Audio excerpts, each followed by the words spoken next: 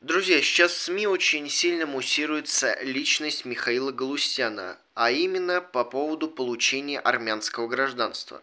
Я смотрю СМИ, всполошились по поводу того, что я получил гражданство Армении. Хочу внести ясность, чтобы не было никаких кривотолков. Во-первых, я армянин и горжусь этим. Армения – моя историческая и этническая родина, которая, я уверен, всегда будет в добрососедских и дружественных отношениях с Россией. Дальше комментировать в принципе не обязательно. Но все-таки расслабьтесь, я люблю Россию и никогда отсюда не сваливаю как некоторые. У меня здесь много друзей, работы, контрактов, поклонников. Россия моя родина.